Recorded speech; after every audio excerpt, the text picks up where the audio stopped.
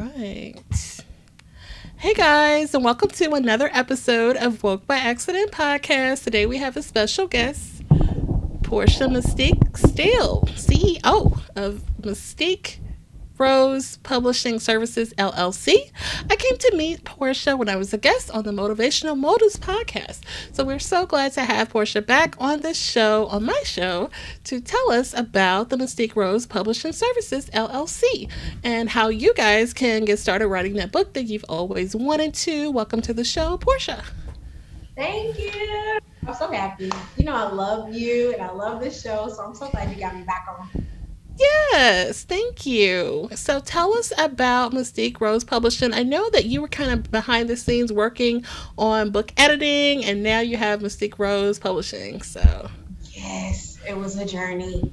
Uh, yeah, so I started as a freelance editor and writer years ago. I think it's been almost 10 years now.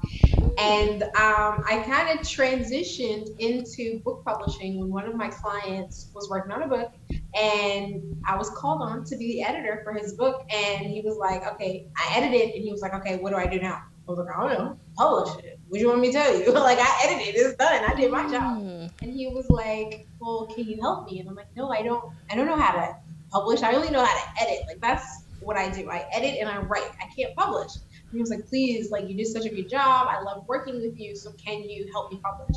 So I was like, fine. So I took some courses. I got a couple of mentors. I did a whole bunch of research and I learned how to publish a book so I could publish his. And after I published his book, I called him up and told him, like, congratulations, your book is live. He just started crying. I was like, oh my God, like, cause I helped you, like me, like what? So um, after that, I was like, I have to do this. Like, if I, I love what I do so much. Like, I love reading, but being a part of an author's story, being a part of that transition into authorship, it, I don't even know how to put it in words. Like, it is everything. And so, being able to bring those books to life, I'm in my dream job, Jen. Like, this is I feel so blessed to be doing exactly what I want to be doing, and I'm helping people in the process. I'm making people happy. I'm allow. I'm I'm making their dreams come true, and it's just it's such a blessing. So that's right. what Mysticque Publishing is all about. That's awesome. And then I love how your company Trinity to self-publish, learn about the business, and you always advocate for them so that they're not taken advantage of. So exactly. that they're not taken advantage of. You always advocate for them. Mm-hmm. Definitely, because like like I said, you know, I started working with authors closely. So some of the authors that I work with have actually become members of my family. Like Laquan Johnson, he is the author of Motivational Motives. But yes. I met him through helping him publish his book. That's how we met. And he's like, okay. he's my big brother now. He's my big brother now. So it's just like him. There's so many different people that I met and I helped them and they become a part of my family. So advocating for them is like advocating for a, sibling. It's like mm. these are my people. You know what I mean? So their book is my book. Their their success is my success. And so that passion, that love is there. And so I'm always trying to make sure that authors get their due. Like the entire book publishing process is not an easy one. It, it's a mm-hmm. treachery path, a treacherous path, but you have to have the right person holding your hand and walking you mm-hmm. through it. And so that's what Mysticque Rose Publishing, that's what we do. We take the book from beginning all the way to the end and beyond. So um, going through that process and seeing the transformation in these individuals, it's like, I'll be damned if somebody comes along and to hurt these people that I love. Like, this is my family. So I always, now, always advocating for others. That's awesome. And then are you seeing that scamming and, you know, traps are out there for people in the publishing oh. industry? Yes. Okay. It is so the industry is so saturated with scammers and con artists that it makes it really hard for authors to trust anybody. I mm-hmm. would say a good portion of my authors have been scammed before even coming to me. So they were already burned. And it was through having a conversation with me that they realized, oh, there are some legitimate people out there that want to help me tell my story. And we're not just trying to get you money. The, oh my God, the, some of the stories that I've heard from different authors, like one woman, she spent thousands, thousands of dollars into this one company, quote unquote, that said that they were going to publish her book for her and get it on Amazon and do all this and do all that. She didn't get nothing out of it. Mm-hmm. She didn't get nothing out of it. I mean, yeah, it, in some companies, and we call them vanity press, they will take money and they will go through the whole process of publishing your book. But by the time you get it, you're like, what is this? It's just um, something that was thrown together they they claim to put it on Amazon and they did, but maybe like the blurb is bad. Okay. The, like it's just a mess. It's a mess. And so you funnel thousands into a project like that, and the end result is something that you don't even want to look at. Mm. Yes, scammers are out there. Wow. And so, what are some things that writers should take notice of so that they don't fall prey to these um, cons and such? Oh, girl. So I think the biggest red flag mm-hmm. is when somebody says that they're going to help you and they don't tell you how.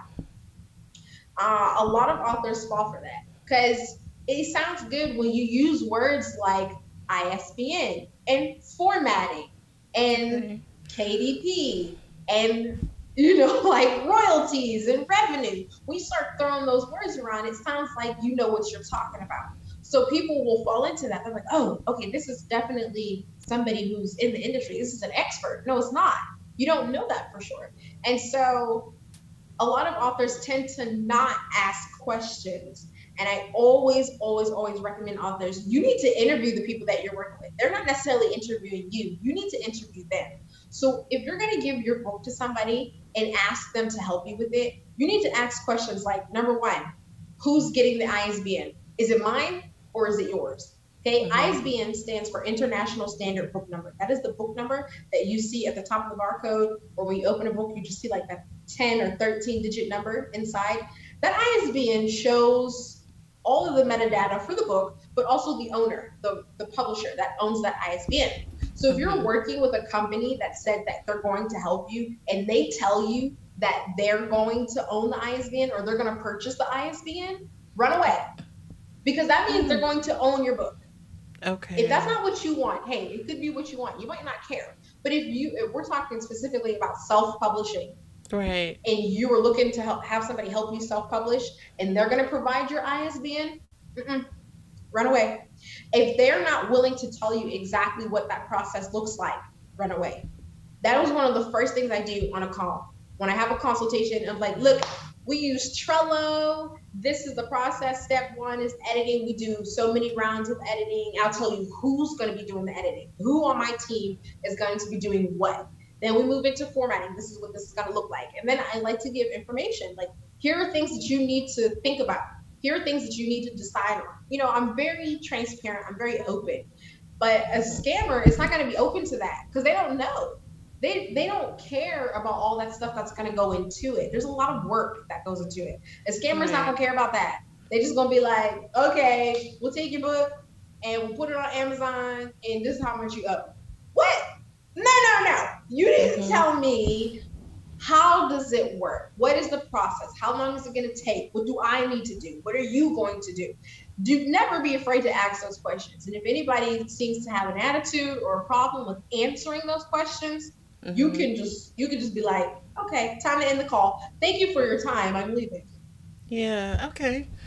That is good to know. And then you mentioned Amazon. So, what is your opinion of the process of going through Amazon for publishing? okay, so it's funny that you mentioned that because we're actually working on a guide right now that mm. is hmm. going to show you the pros and cons of the top 10 different publishing platforms.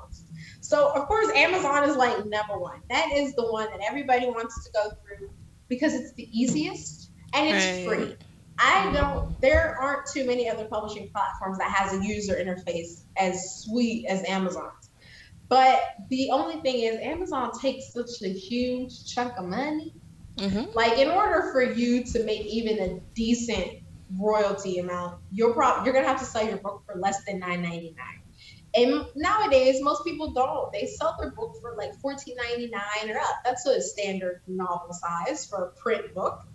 Um, but when you do that, you're only getting like thirty percent. So there is a strategic method as to why you see books priced at two ninety nine or even for free sometimes. Exactly. See, when you see a book, uh, an ebook specifically, that's mm-hmm. for free on Amazon, that's because the author signed up for Kindle Select. So mm-hmm. with that, Amazon is essentially like giving the author an opportunity to get their book out there, to get it in front of people. So you could just download it for free and, and it's cool. Some people use free free ebooks or the digital version as a way to just, you know, pick up a little, generate a, a, some leads and really get their name out there and things like that. But two ninety nine is really cheap. Right. about, for an ebook, that's fine, but you're not selling you're not selling a print book for no two ninety nine. But yeah, with an ebook, two ninety nine is fine because most people don't splurge on ebooks. So you want to definitely be competitive, but also be smart. And when you're when you're publishing through KDP, you also have to factor in how much they're taking out. Right. They're gonna they're gonna take out a nice chunk, and then what's left, you know. Now, first, like I have a family member that wrote a children's book and it actually has sold out on Amazon. So people who are like doing well on Amazon, they're making a little money, or is it still just hard because they take so much that sixty percent or what have you? Um, here's the thing: when people publish to Amazon, that's probably not the only thing they're doing. You can't make mm. a living selling books on Amazon unless you're like Stephen King or something you need to be doing other stuff. Maybe selling from your website. Maybe you're doing pop up events. Maybe you're selling locally. Maybe your book is in schools or in libraries or in local stores, or you did a book signing. You're doing a book tour. You're a motivational speaker. You're a podcast host. You do, you know, you end up as um, being becoming, excuse me, becoming a published author is just the beginning.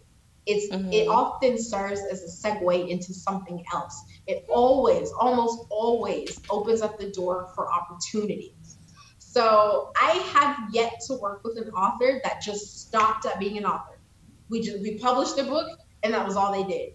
Almost every author I've worked with have gone on to do something else. Some of them are life coaches, motivational speakers, podcast hosts. Like it, it becomes something else. It, it was just the beginning, just the beginning. So um, when you are publishing to KDP, you're not getting a lot of money from that, even if you sell out, which is weird though. You said she sold out, but well, it depends on how she published because with KDP, it's print mm-hmm. on demand. So they don't okay. have the book stocked anywhere. It's okay. just when somebody goes to buy it, they print it and ship it.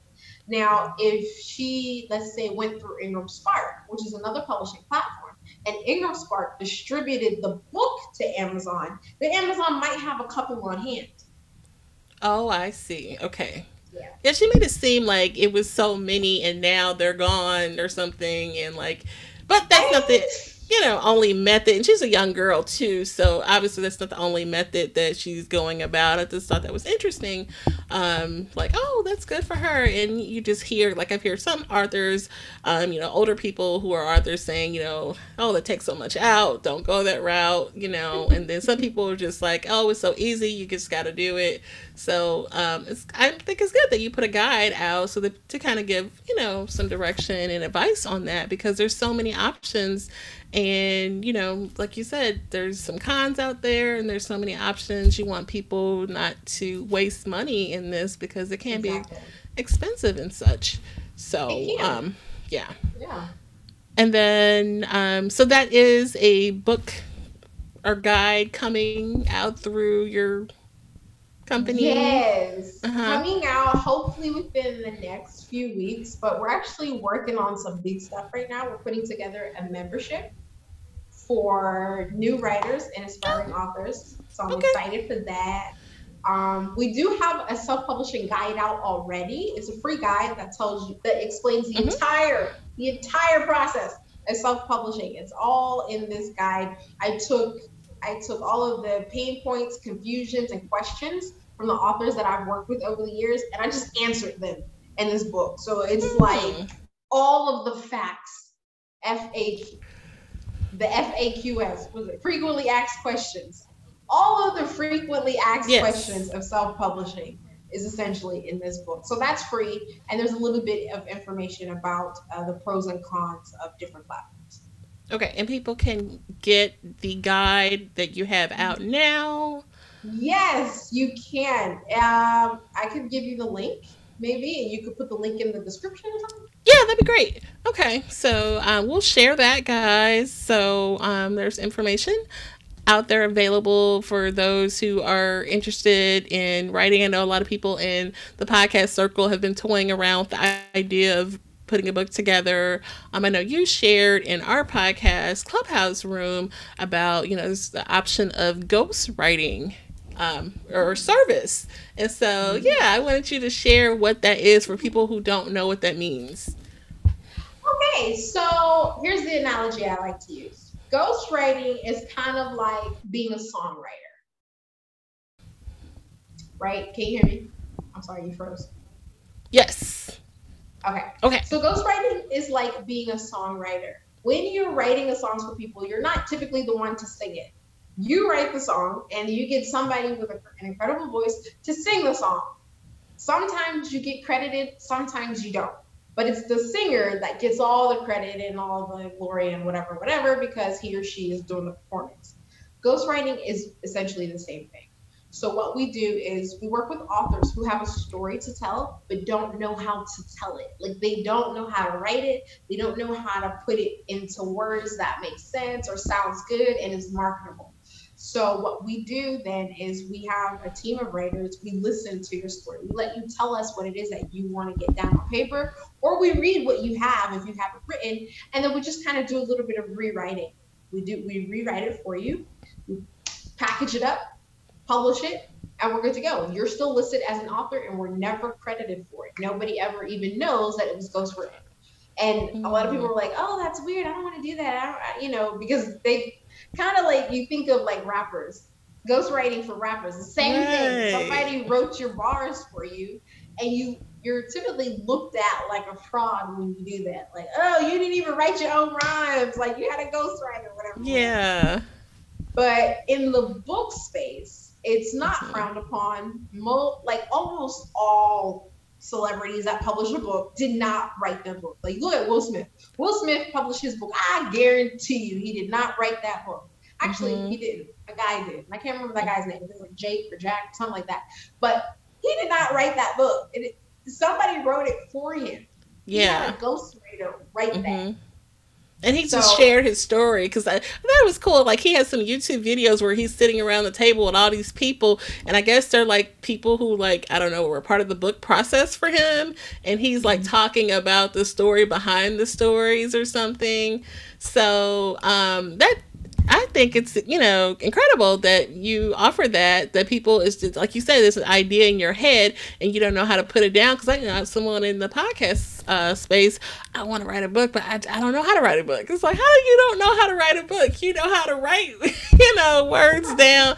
But I get that because it's a way that you have to lay it out and things yeah. like that. And people are um, apprehensive about that. There's kind of a scary process for people so it is because you're always concerned with, well, are, is people gonna like what I have to say? Is it gonna make mm-hmm. sense? Is people gonna get it? You know, so there you start to self doubt. There's a lot of self doubt when it comes it to is. writing your book for the first time, and ghostwriting does help with that. But that's not the first step. I, I don't usually offer that to people right off the bat mm. because I, I like when authors have the ability to tell their story themselves. And so if I end up with an author who's like, I don't really know how to write, but I want to, like, I want to write it, but I don't know how, then we take them through the um, writing coaching program. So I have a program that teaches people how to write a book. So you have a story, but you don't know what to say. So mm. we hmm. teach them how to actually get it down on paper. Now, this isn't like, you know, an English class or anything like that. Like we're not in school. But what the program does is first we first determine the type of author you are. There are three types of authors. You have the storyteller. This is the person that can just talk, like they can tell a good story, but they can't get it on paper. Then you have the imaginative author. That's an author whose story plays out like a movie in their head, but they can't express it in words. It just they see it. it's just there. It's playing in their mind. But then you have the writer, right? So the writer is a person that's always writing, always writing, always writing, but they're they tend to be locked up in their own little cave and they're just mm. writing it out and it they struggle to actually get it uh, get the public to receive it. It's not very receptive or marketable. Mm-hmm. So when we mm-hmm. determine the type of author you are, from there we'll be able to figure out well how do you write and what do we need to change, if anything. A lot of times right. authors self doubt and they're like, oh, I don't know if it's right. And then we read their work and they're like, you're tripping. This looks amazing. like, yeah. What?